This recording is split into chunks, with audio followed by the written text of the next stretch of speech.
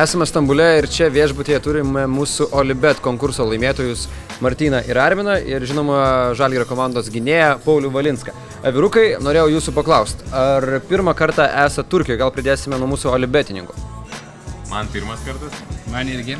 Aha, tai čia tikriausiai Paulius turi daugiau patirties. Paulius, žinau, kad ir su, Žalgiriu esi buvęs ne kartą Turkijoje, o šiaip ar teko ilsėtis Turkijoje, šiaip teko pakeliauti čia? Vieną vasarą jo buvau palsėt, buvau aišku ne, ne Stambulė. Uh, dabar iš tiksliai nepasakysiu, kurį vietą, nelabai atsimenu.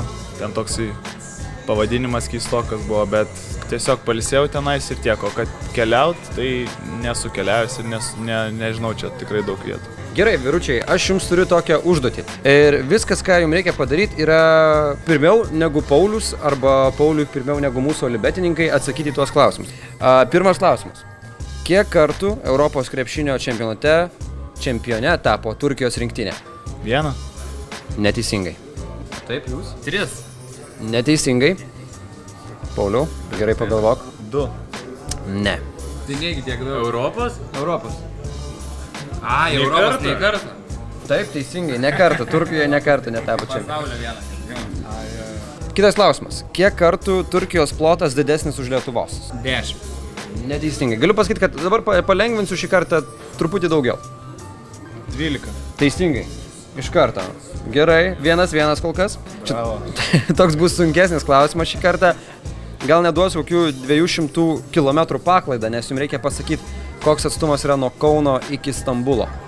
Nematavot skrisdami. 1500.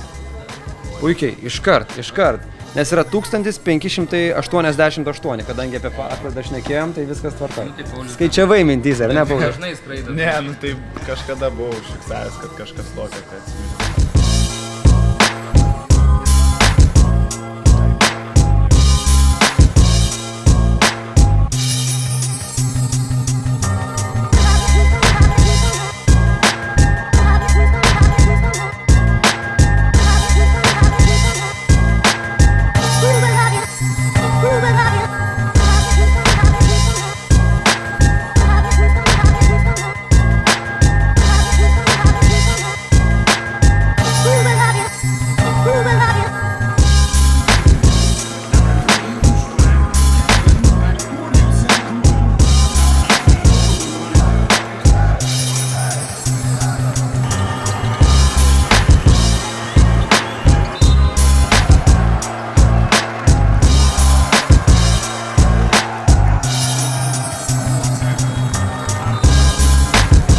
Kalbinam Martyną ir Arminą, sakykit, vyručiai, kaip kol kas patinka rungtynės atmosfera. Žmonių ne per daugiausiai, bet atmosfera gera, daug žalgerio fanų su mumis. Smagu, kad laimim, bent jau kol kas. Na, ta Žalgirio fanų grupelė kol kas labai įspūdingai atrodo ir labai garsiai skamba čia arenoje. Ar jau padėjot jai su savo garsu ir su savo gerklėm?